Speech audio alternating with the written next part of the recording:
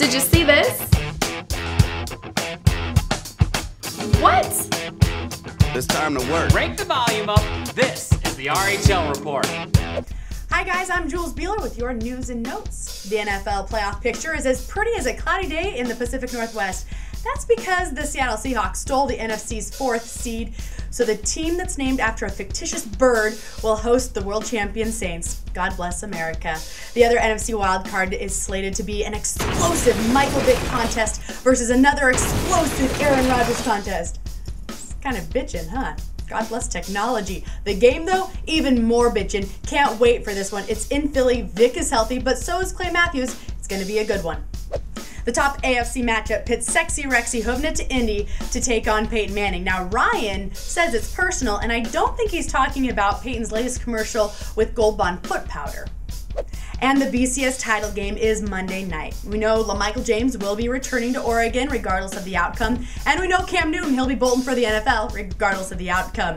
The fireworks will be flying higher than the War Eagle in this one, but if Chip Kelly can contain Cam, Oregon could claim its first national title. And that's your news and notes. We'll see you next week. Thanks to Definition 6 for all you do for the RHL Report. All right, Red Hot Locks, with me today is Tony Windis, who just won 300 grand in the World Championship of Fantasy Football. Tony, how you doing today? I'm doing great, thank you, Dave. That's fantastic, Tony. Okay, I gotta know, 300 grand change your life a little bit? Oh my God, you can't imagine how much so. It makes my job a lot easier to go to during the day.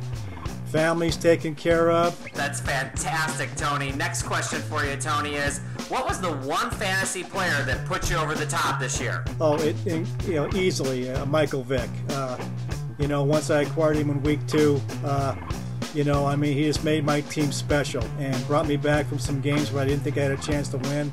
Uh, without a doubt, Michael Vick. Hey, the Mike Vick experience strikes again, Tony. Thank you so much. We're looking forward to seeing you in Vegas next year. Me too. I'll see you there. Here's the triple tweet of the week.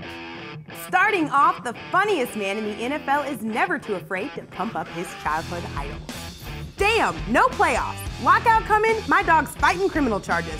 Man, where Bobby and Whitney at? I need what they be using. Darnell, baby, I think they test for that sort of thing. Speaking of drug tests, Ochocinco thinks he's being singled out yet again. Would y'all believe I got another random drug test today before our exit meeting? Why am I being tested again? This is test number 11 in six months.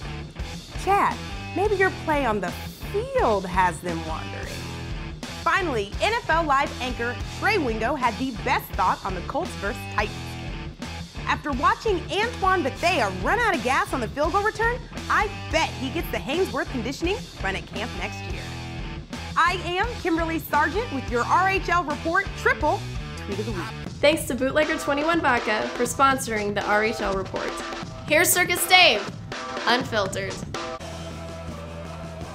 Hey everybody, I'm Circus Dave and you're not, and this is Circus Dave Unfiltered.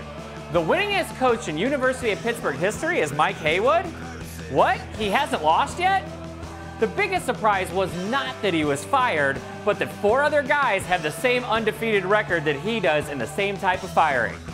The Patriots, Steelers, Falcons, and my Chicago Bears all have first round byes this week, while the Buccaneers and the Giants are sitting at home watching the Seahawks? Black Monday in the NFL is cut day for coaches. With the collective bargaining agreement undecided, do you think NFL owners are too cheap to pay coaches when there's no football? Here's the pick of the week. RedHotLocks.com senior writer Mike Anderson is here with the pick of the week. Go, Mike. All right, we're going to take Oregon plus the three points in the national championship game. These teams both score a ton. The difference in this one is going to be that if Oregon gets a big lead, as others have on Auburn, the Tigers will not catch them. All right, everybody, you heard it here. Mike Anderson takes Oregon with the points in the BCS championship. Thanks, Mike. Another great show thanks to the RedHotLocks.com writers. Check the show out at YouTube, Spike TV, Vimeo, Viddler, and RedHotLocks.com. Thanks for watching. We'll see you next week.